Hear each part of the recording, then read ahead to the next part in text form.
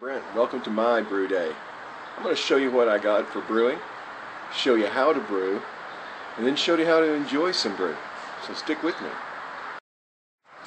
So, we've got a burner. This is a counterflow wort chiller. It's just some copper tubing that's been run inside some plastic tubing using these simple a quick rundown of the equipment. Of course, we've got our burner and our fermentor, which doesn't have anything in it right now. Various hoses, thermometers, hot pad gloves, some tubing, etc. This is my stick for measuring the amount of wort I have. It's marked Kind of hard to see in the light, but it's marked off in gallons. Got my propane burner, my March food grade pump,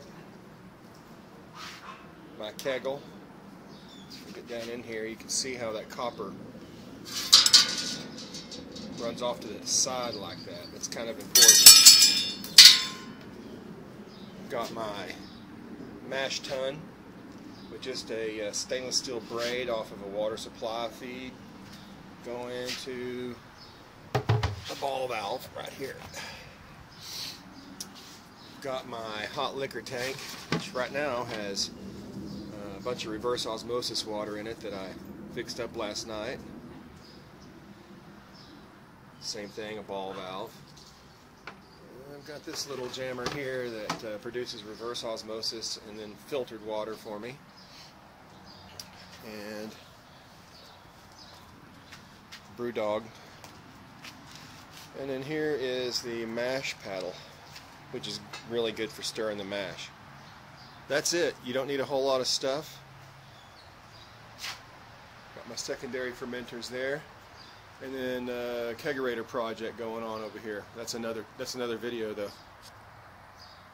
So let's get brewing. Okay, so here we are. Here's the setup.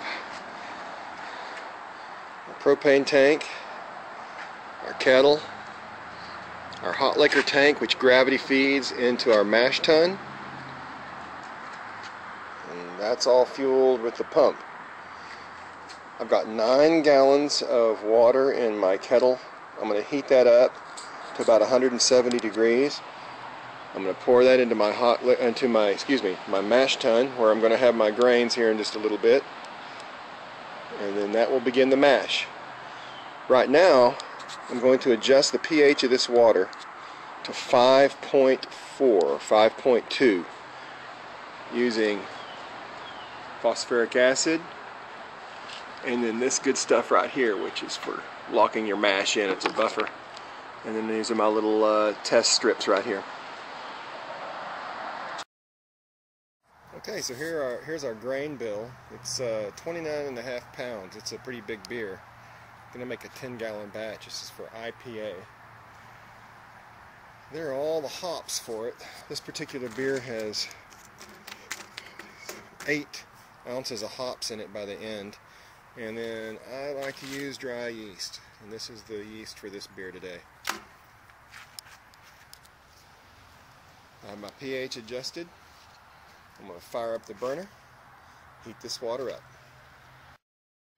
Okay, so now I've got my grains in my mash tun. And I'm going to measure the temperature of the grains because I want to heat that water right there hot enough that when I pour it into these grains and our temperature settles down, I'm going to rest at about 154 degrees for 90 minutes.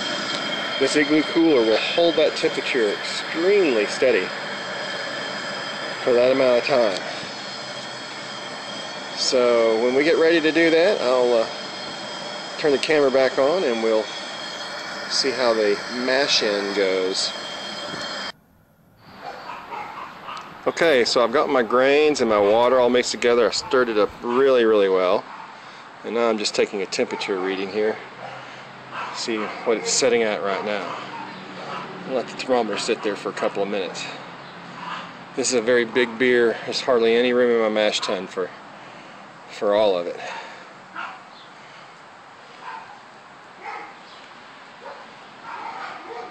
So far, I'm sitting at about 150. It's only been in there for a couple of minutes. It's still rising. Might have to add a little hot water to it if we if we need to. Okay, so things are sitting at about 152, 153. A little blurry. 152, 153 degrees there. Everything else just going to rest for about 90 minutes. In the meantime, I'm going to put some more water in here, about 10 gallons, heat that up to 175 degrees and put it here in my hot liquor tank in order to use to rinse these grains out. That's called a sparge. I got a little time to do that, so I'm going to work on the kegerator project for a while. Okay, got the burner going again, and I'm heating my sparge water up. Remember, that's going to go from here to there. I've been working on my mash temperature. It's a little low right now, 150 degrees. I'm trying to adjust it by adding boiling water. I've already added about a half a gallon. I'm going to add another half a gallon more. It's sitting at about 150 to 152 which is okay, but I like a little higher than that, maybe 154. Okay, so uh, 90 minutes later, here's my mash, and uh, here I am recirculating the beer. I've been doing that through the pump here.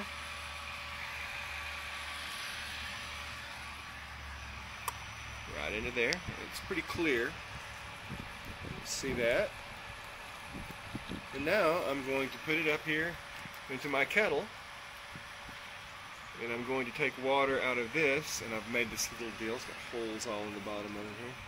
And I'm just going to trickle that over the top of this grain and I'm actually going to put that piece of plastic with holes in it on top here.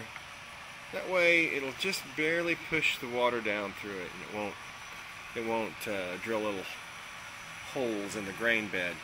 The whole point is to make it filter all the other stuff out and just leave you this nice clear stuff. It's going to take me 90 minutes to put about 12 gallons in that.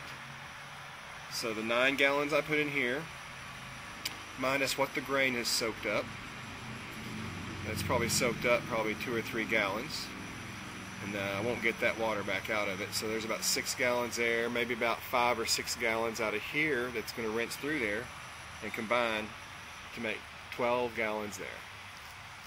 So I'll get the sparge going. Okay, here we are. I've got the uh, piece of plastic with the holes in it on top of the grain bed. I'm just barely dripping out with my little device here. Here's my wort running still nice and clear.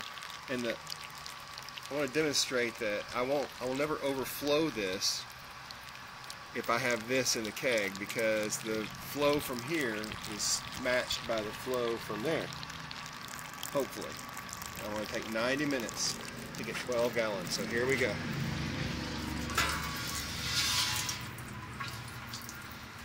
There it is. And that's actually a little fast. I'm going to have to slow everything down just a little bit. It's just a trickle. Alright, we've been sparging for about 10 minutes. You see the water there's really clear. It's not overflowing. It's just trickling and it's going all in here. So it's still just kind of trickling a little bit. Don't want to rush it. Got my stick in here to measure. I want to get it to about, I'm to have a tie wrap on here. I move up and down so I can see it. It's, uh, it's about 11 and 3 quarter gallon. Okay, it's about uh, 15 minutes into the sparge and I wanted to make sure that you saw everything still going just like it was. If I was running out of water here on the top, well then that would mean I was running it out too fast from here. If I was overflowing, that means I would be running it out too fast from here. So it's a balancing game, but it's real easy to figure out. Now, the reason I wanted to get in here now is because I'm at two gallons at 15 minutes into the sparge. That's one gallon every seven and a half minutes.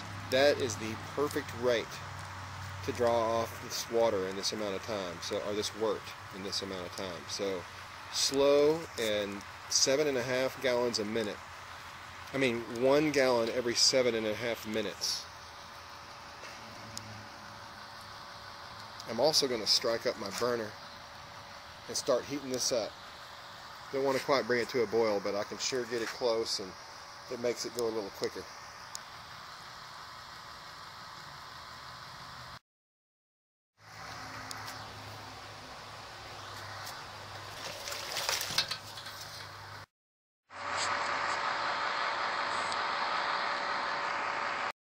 And here we are back with you. We're still in the sparge. We're about an hour and I'm thinking maybe an hour into it out of 90 Okay, welcome to the boil. Here we are. There is uh, nothing else going here with the sparge. We are done with that. And actually, I will take these grains and I'll put them in the compost. It's a pretty good place for them actually. They're really good in there. Anyway, here's the boil going on. I've already added my first hops. As soon as it started boiling, I put in one ounce of hops, according to my recipe. It could be more, could be less and started my timer for one hour. I want to boil this for one hour. I will add hops to it at certain scheduled times according to the recipe. So I'll show you how to add hops at, at the next edition, which will be in about oh 45 minutes or so. It's taken me a while to get it just like this. You definitely have to adjust the temperature and wait and look at it and stir it because it will boil over. And you have got to make sure it does not boil over because it is a big sticky mess and you're wasting beer and we don't want to do that. Anyway so watch it adjust the temperature get it to where it's rolling but not foaming up and foaming over. And uh, you can kind of see how that goes. The main thing is do not leave it unattended until you are positive it's not going to start boiling over that's usually about five minutes into the boil Anyway, while that's doing that, I'm going to clean this stuff up. Okay, so we're back, and this is for my buddy Kurt. Here's the deal. You got to stay ahead of the game. I got 27 minutes left to go in the boil. Okay? I've still got to get my fermenter ready because that's got to be ready to go at the very last minute. I got to have my pump sterilized and I have to have my counterflow wort chiller sterilized and ready to go. Or sanitized, I should say. Anyway, I've mixed up some sanitation solution in my fermenter and uh, I'm going to get that thing all sloshed around for a little while and then we're going to move on to uh, getting everything else done and I'll show you how that's going in a minute. Okay, so I have sanitizing solution in my fermenter here. I'm using the Brew Cube. It does nicely for a 10 gallon batch. Anyway, I have enough water in there to kind of cover it up to here. And so I just kind of rock it back and forth and leave it sitting on one side for a little while and uh, and I'll eventually end up turning it upside down so I can get this portion of it um, sanitized as well so the whole thing gets sanitized and uh, I'll show you how that works. Also got my pump over here to sanitize and the tubing for that and then a counterflow wort chiller. So we're going to put it all together. Uh, things move fast so you have to be on top of them Okay, so I've turned the fermenter upside down now over this uh, pail. And you can hear the water kind of gurgling out now. It's uh, so that's that's sanitizing this bottom half. So it's like a cube. I'm just getting one side at a time.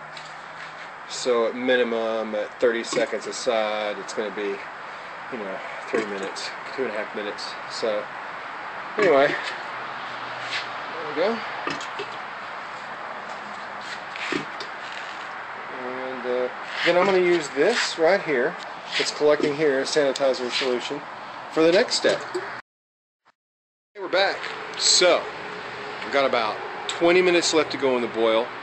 I've gone top of things. I've gotten the fermenter sanitized now, okay? And the next thing I've got to do is get the pump sanitized. So I'm going to take you over here. I'm going to show you the pump. And there it is. Hello, I'm back.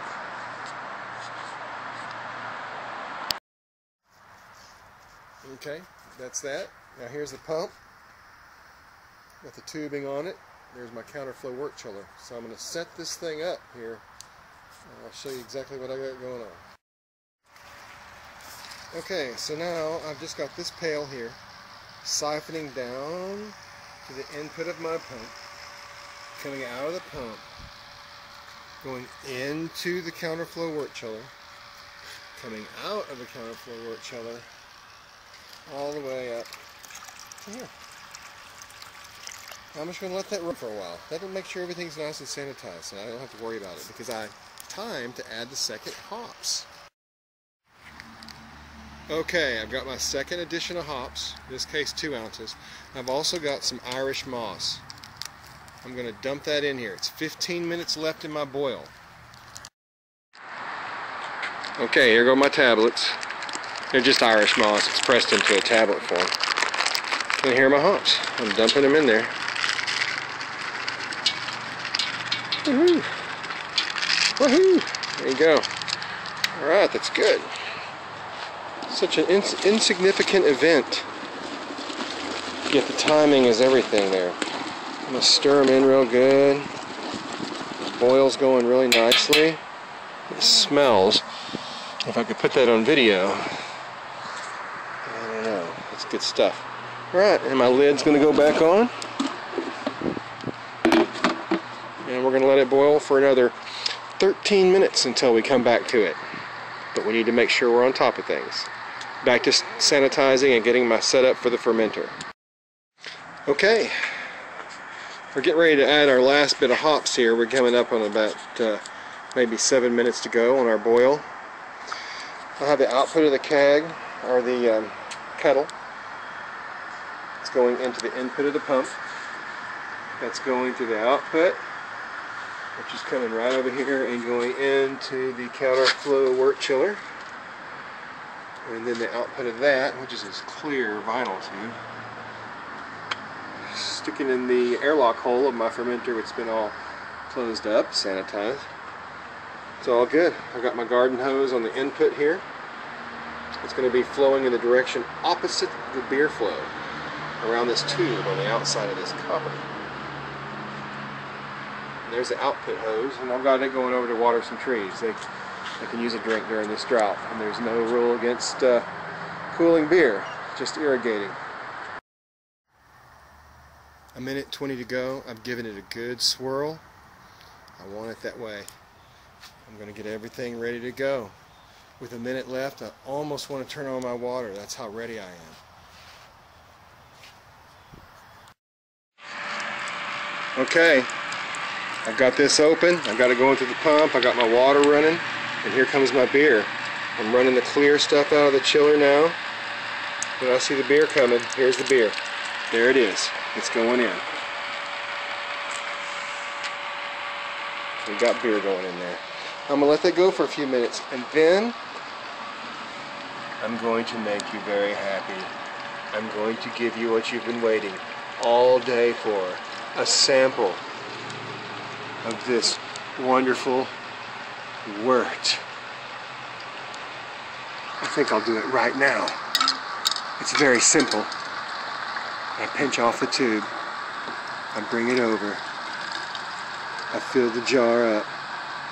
I pinch off the tube. I put it back in. And that's it. Simple. It's chunky, but it's a simple. Okay, so I'm almost out of battery, but here it is. It's going into the fermenter. I can already feel it's cool to the touch. I haven't taken a temperature. And it's really foamy. That's good. We want some oxygen in there. We want it foamy. We're going to pitch our yeast in there in a minute. We'll just simply open this back up, sprinkle our yeast over the top of it, close it back up, stick our airlock in there, and uh, we'll be good to go. About a week later, it'll be ready to rack over into the secondary fermenter. Okay, here we are, and we got our fermenter.